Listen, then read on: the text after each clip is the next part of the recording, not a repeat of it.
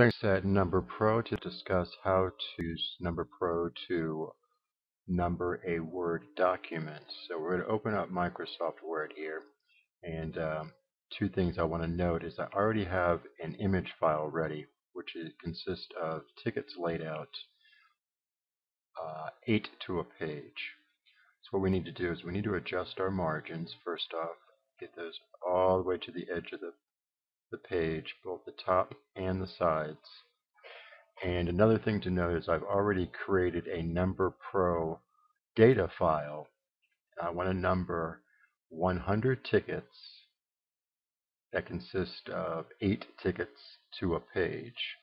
So we're going to insert that, that image that I've already created in another source. So we're going to click on Picture, and we're going to find those tickets that I already created located on my desktop. We're going to click on that, insert.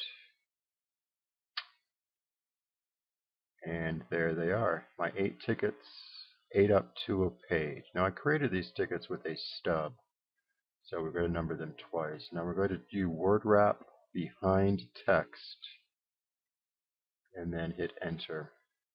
And now we're going to enter our text boxes. So insert text box. And we're going to choose the first option. We're going to inside hit delete. That'll get rid of that pre-formatted text. And then we want to come up and shape fill, no fill. We want that to be transparent. Same thing with shape outline. We want to hit no outline. Otherwise, that box will print with a, uh, a square around it.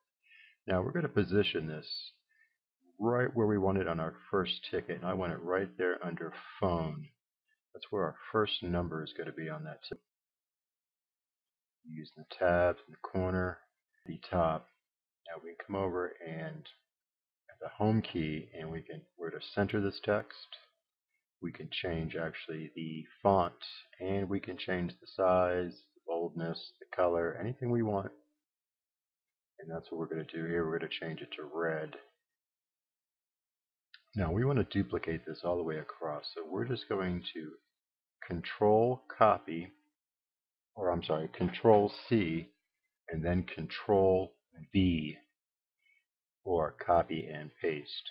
And we're just going to keep doing this all the way across. You'll see the first one, after you do your copy C, copy V, it looks like it disappears. It really hasn't. It's still there. And you can see after you do the copy V, it, it, it makes another image a little bit further down. Just, just drag that one into place. Copy C, copy V. Click on the edge, drag that one into place. Make sure you click on the edge and drag, otherwise you're just going to be readjusting your frame. We're going to do this all the way across here. Now Microsoft Word is my preferred choice program to use to, to do numbering like this, but if it's all you have, then, then, then, Number Pro will work for you. So just keep that in mind that this isn't my first choice of, of, being, of numbering. Now is what we're going to do. We're going to go up to the top one again, and we're going to make a copy of that one. Control C, Control V. And so what we're going to do is I want uh, since these are going to be two-part tickets once they're they're printed out and cut down to size, um, I want a number on the body of the ticket as well to match the ticket up at the top stub. So we're going to do this again. We're going to copy and and paste all the way across so that we have eight more boxes for our other numbers.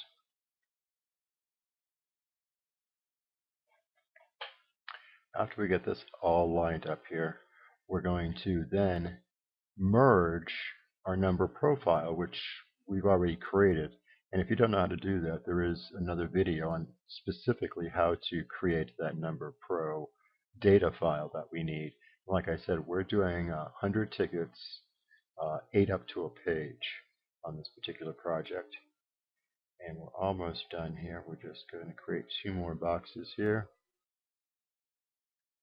Now there may be an easier way to do this. This is the way I've always done it. Like I said, uh, Word is not my preferred program, so I'm not an expert at it, but this is this is one way to go about it. Now that we have all our boxes done, just click outside the screen. Then we're going to do our merge. So we're at mailings, start mail merge. And I use the step by step. Now, the document we want to use is letter. We're going to continue to step two. We're going to continue to use the current document. Step three, we're going to browse for our, this is where we're going to find the number pro data file that we created earlier. And it's output text. Open that up. And that's the file that number pro created. We can leave everything here as default. Default, default, okay. Now, number pro is going to give us this, or our window, our Word, I'm sorry, is going to give us this funky little error there. Just go ahead and click OK, OK, OK, and get through it. And I'm going to explain why it, it did that, but that, that's normal. Now that we have that already merged, we're going to continue to the next step, and then we're going to click we're going to use our More Options tab there. But first we want to click over the space that we created our first box. Hit the More Items, number one field, insert. That's our first ticket, number one. And we're to continue to do that. Click More Items, number two, Insert, Close. Click on the space where the box should be, More Items, so on and so forth. You can watch this to get the hang of what we're doing here. We're just setting up our base numbering. Now we're going to do this for the stub portion of the tickets, and then we're going to come back right after this and do it for the body of the ticket as well. And as you may have already guessed, when we do the body for ticket number one, we're going to use field number one, and for ticket number two, we're going to use field number two.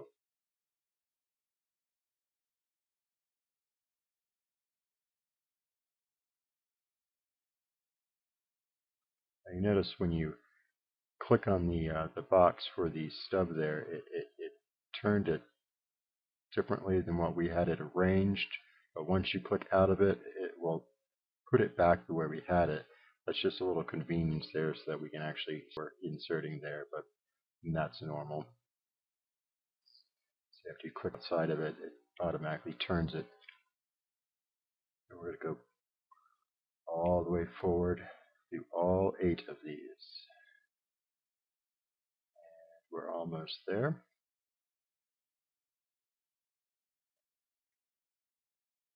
Now you can create your ticket any program you want. It's easier for me to work in Word if I already have this the whole sheet laid out the way it is. Um, and I did that in another program, just saved it as a JPEG, and then we just insert that image. Now you, will see that some of the numbers there didn't line up exactly the way they should. So you can go back and tweak these a little bit. Just click on them and, and then use your arrow key to space over, space up, and just comes a little bit better. And as you'll notice, all the number one ticket of the stub matches the body, number two, three, four, etc. Just fix these a little bit. The ones on the very bottom row there didn't uh, get positioned very here, so we're going to fix these here. We just click, click on the edge of the box, it'll change to a frame that you can just use your arrow keys to up and down or left or right.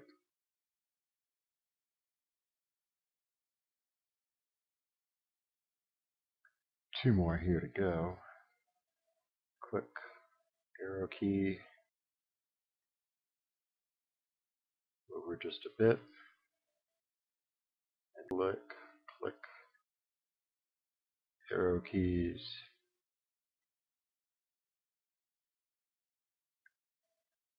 and in position. Alright, that looks good for right now, just for an example purpose. Click on our next step.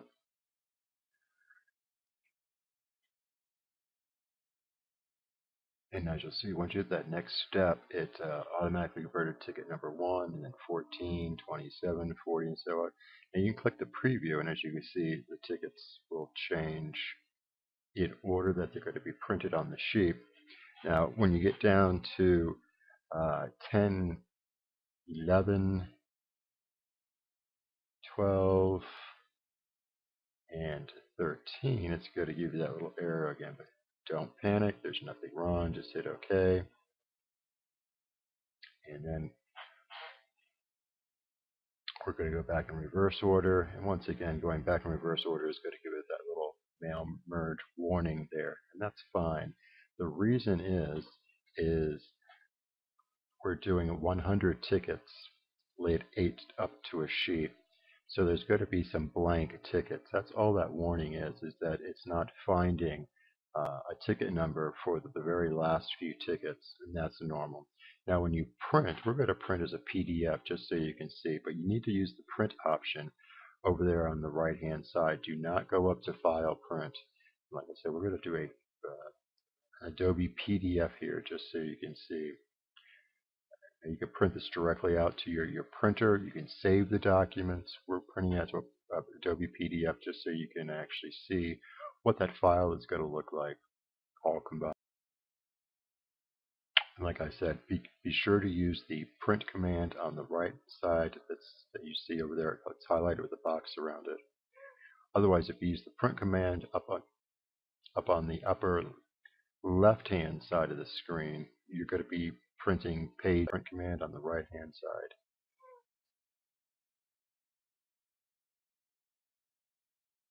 Now this is going to take just a minute or two. My computer's been running rather slow, but typically uh, this would take just, just 30 seconds or so for a file this big, but this one may take just a few extra seconds here.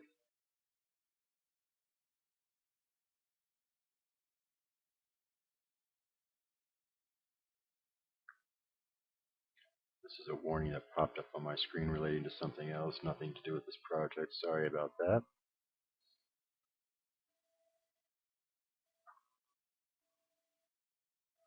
And we should be approaching the, the end of this here. Like I said, you could save this uh, total file out to be printed later, and it will retain the merged capabilities, or you go ahead and print it out directly to whatever printer you want to print this on. Or you can actually do what I'm doing right now, is, is print it out, or print it out, or save it as a PDF,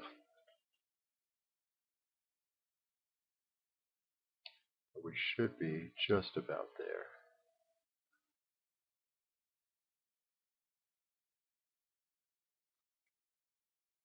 And we're almost done because it's giving us the error again that it found that blank field, and that's okay. So we're at page 10, page 11 here. Click OK. We're fine. Nothing wrong. It's just warning us that uh, that one that, that those individual pages are missing a ticket.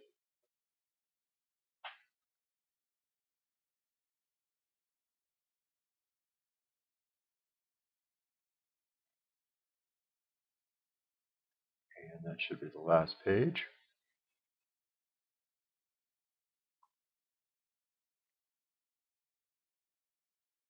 And our file is complete. And this is how it looks page by page. As we scroll down, you'll see that the numbers are changing on each sheet of paper. And as we scroll down to page 10, 11, 12, and 13, you'll see the lower uh, right hand corner doesn't have a ticket number there, so you'll actually be printing some blank tickets. And, and that is exactly what we want.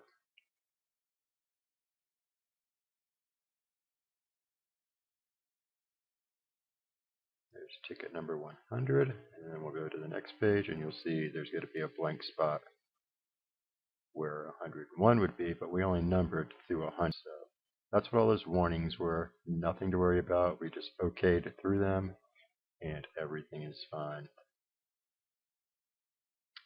And there you have it. That's how to use Word and Number Pro together to number something like tickets. Now, you could do as many items or documents to a sheet of paper as you want. Um, fairly simple. Word is not the easiest program, but there you go.